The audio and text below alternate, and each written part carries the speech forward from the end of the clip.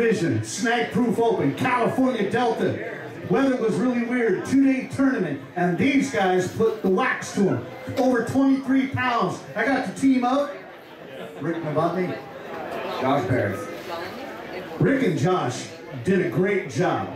They were uh, doing well yesterday, and they just backed it up again. I don't know if they lost enough fish to where they're going to sit there and shake their head on the way home. However, great job. How'd you catch your fish, Rick? Uh, with frogs. Nice, nice. What color frogs?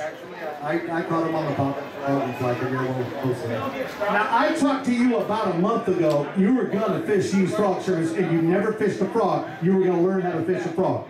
A, a month ago, I came out with Josh and I couldn't walk a frog. And uh, we got something. That's pretty awesome. And you, you called me up and you said, I actually caught a frogfish today. Yeah, I was pretty stoked. And now here you are in second place of a 205 boat field. I caught a couple of frogfish this weekend. Nice. Did he catch a couple? Yeah, he did. How'd you catch him? Uh, Bobby Perfect Frog, pretty much Freds, and I caught one today on Black Yelp, but everything is pretty much Freds. So when you're throwing that frog, and a lot of guys were throwing frogs today, and they were saying a lot of fish were volleyballing it, you know, just popping up in the air.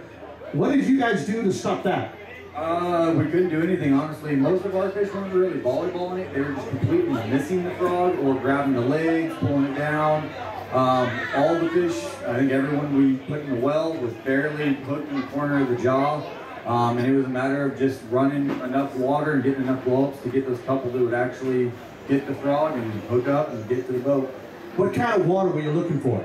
Uh, we, we look for protected water. Uh, you know, as always, we know these tournaments are going to be windy, and uh, so we really targeted protected water. Some of it panned out. We pretty much, I mean, we had a stretch of probably 20 yards where all of our fish that we weighed in came from. And is there anybody you want to thank in this event? I want to thank all, thank all my sponsors, BBG of course, and uh, my family at home, Rick, and uh, yeah. You know, Rick, I, I've seen some of your custom painting. You do a great job on your custom painting. Are, are you colorblind? I am completely colorblind, yeah. You know, why is it the artists are colorblind? I'm not sure. It's okay. You know, that's why we wear glasses. Yeah, no, I can't see color at all. Yeah, hey, honey, what color is that? That's how it goes. I asked my wife and my daughters. So who do you want to thank? You know, I wanted to thank Josh. I mean, I had an absolute blast in all our pre-fish and in the tournament. We took his boat and his equipment, had a great time.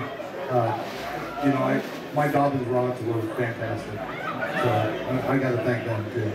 Well, you know, great job. I got to give you guys both a handshake.